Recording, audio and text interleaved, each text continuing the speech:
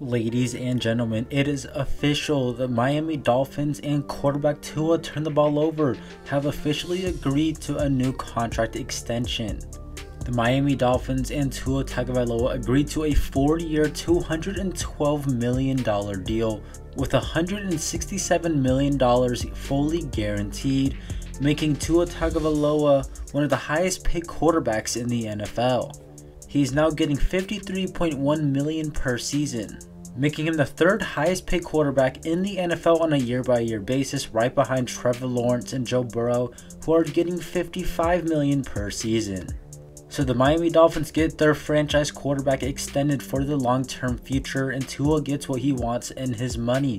And now he will be on the Dolphins for another five seasons, four years on this contract in the one year that he's currently going to be playing on this fifth year option. And this quarterback market and inflation thing is just ridiculous right now because Tua and Jared Goff are two of the highest paid quarterbacks in the NFL, while Patrick Mahomes and Josh Allen are at number 10 and number 11 on the highest paid quarterbacks on a year by year basis. Basically, their contracts, outside from rookie contracts, are the best ones in the league. Now, another stat that came from this, which I found really insane, is that while Tua Tagovailoa is getting 53 million per season, Hall of Fame quarterback Dan Marino, who's arguably one of the best quarterbacks of all time, and by far the Dolphins' best quarterback in their franchise history, Dan Marino made $51 million in his entire career, while Tua's average salary on a year-by-year basis is 53 million. That is just ridiculously absurd. But both sides were able to get a deal done after a long offseason of will they get an extension done? Will Tua hold out? Will the Dolphins pay him what he wants? What happens if they don't pay Tua? Will they draft someone? Will they trade for someone? And this has been going on all offseason, and this contract negotiation has been one of the main talking points of the entire offseason, which is why this is one of the biggest news stories to come out of this whole entire offseason and it comes just a little more than a month away from the week 1 game where the Miami Dolphins will be playing the Jacksonville Jaguars in their season opener. These talks and negotiations got so bad to a point where Tua was holding out from training camp. He only participated in some stuff. Some people will call it holding in, where you go to the facility for the meetings and the film breakdowns, but you won't practice and that's essentially hoarding in. Basically, Tua was doing that. He's only doing minimal activities and participating to a certain degree. And earlier this offseason at OTAs, Tua was not there again, but it is something to definitely note. Then he was there at mandatory minicamps, which was actually pretty significant. And the reason Tua just signed this huge mega deal is due to such an inflated quarterback market. And earlier this offseason, the Lions gave Jared Goff a huge contract extension of 212 million with 170 million guaranteed for 4 years.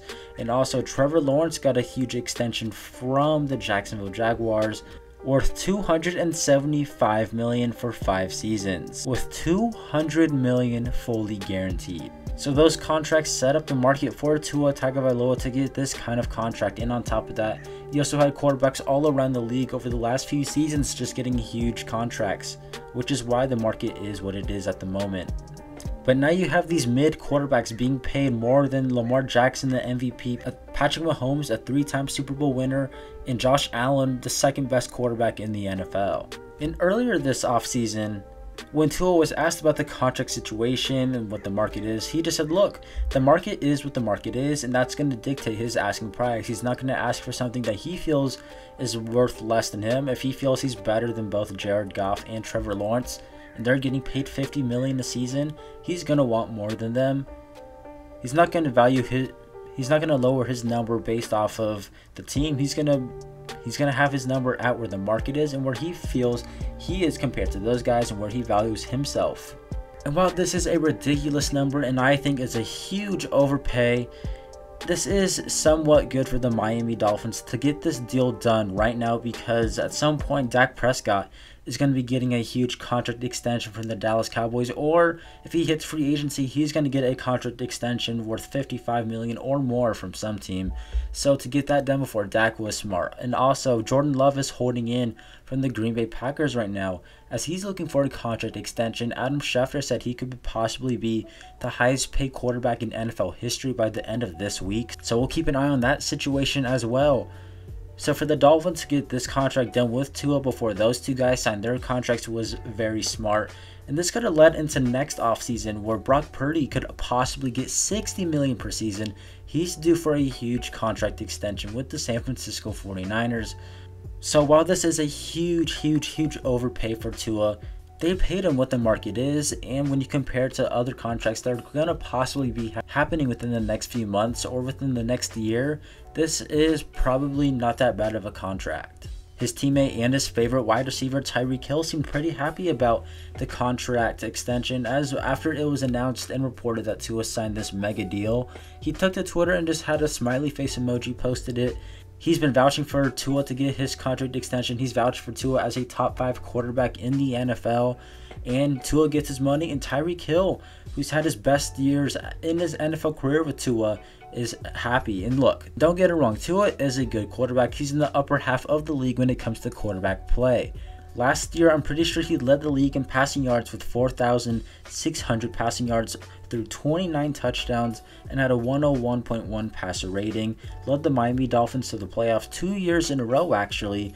Under Mike McDaniels, he's been one of the better quarterbacks in the NFL and has led one of the better offenses in general around the league. Despite all of this, though, I still don't think he was worth this kind of money, but that's just what the market is. That's where he values himself. That's where the Miami Dolphins valued him, and they got it done. And it is funny to think, though, that literally half a year ago, Tua put up one of the worst playoff performances in recent history, and now he's getting paid 200 million. But now with Tua paid, Jaylen Waddle got a huge contract extension this offseason. Tyreek Hill is paid. They could possibly do a contract restructure with him to make him the highest paid receiver in the NFL.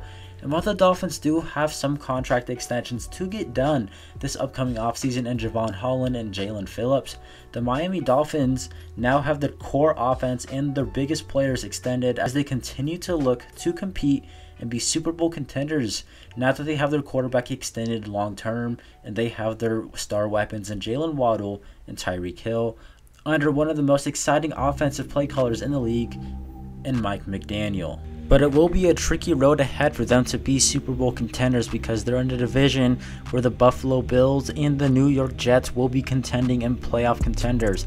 They're in a conference with some of the best teams in the NFL and the best quarterbacks in the NFL, and CJ Stroud, Patrick Mahomes, Lamar Jackson, Joe Burrow there is a lot of competition in the AFC, and the Dolphins are going to have to really step up their game, and Tua is going to be better on the road and in the cold weather if they want to make the Super Bowl and be contenders. And that's exactly what the Miami Dolphins are paying him to do. He needs to be better, but he got his extension, and now he's looking to win some playoff games and get to the Super Bowl. Subscribe to my channel, KAJ Sports, for more daily NFL content. Have a good one. Peace.